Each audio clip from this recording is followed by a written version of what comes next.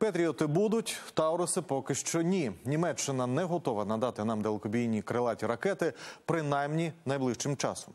Чому і як на таку позицію уряду реагують німецькі політики? Тетяна Логунова розкаже.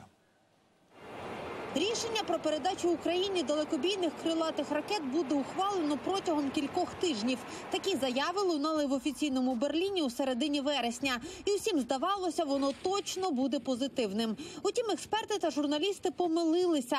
Канцлер Олаф Шольц поки не готовий надати Україні німецькі крилаті ракети.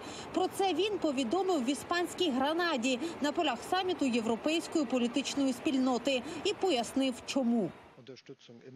Ми завжди приймаємо рішення щодо поставок того чи іншого виду озброєнь після ретельного аналізу. При цьому ми враховуємо те, що говорить нам конституція.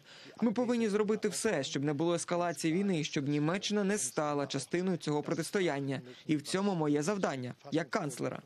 Іспанську заяву канцлера різко розкритикували на батьківщині як опозиціонери, так і представники партій, що входять до урядової коаліції.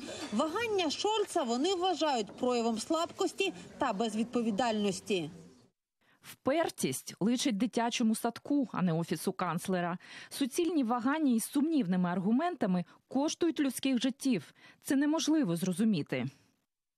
Комунікація федерального уряду щодо ракет Таурус нечесна. кажуть, що йдеться про технічні питання. Це відмовки. Шольц ніколи не збирався надавати ці ракети саме тому, що вони були дуже ефективними для України. Залишати Україну у підвішеному стані це безвідповідально та недалекоглядно. Нерішучості Шольца є кілька пояснень. Журналісти таблоїду Більд стверджують, канцлера зупиняють технічні моменти. Надавши Україні Тауруси, німцям доведеться поділитися геоданими про російські цілі, а можливо і направити в Україну фахівців Бундесверу для програмування ракет. Утім, є й інша версія. Не виключено, що Шольц просто чекає на відмашку від Сполучених Штатів і передасть Тауруси одразу після того, як далекобійні ракети дасть Вашингтон.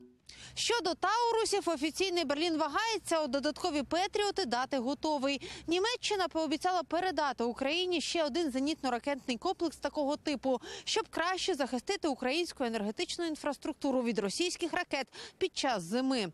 Про це теж домовилися в іспанській гранаді на двосторонній зустрічі Олафа Шольца з Володимиром Зеленським. Тетяна Логунович, Слав Фролов, подробиці німецьке бюро телеканалу Інтермарафон. Єдині новини.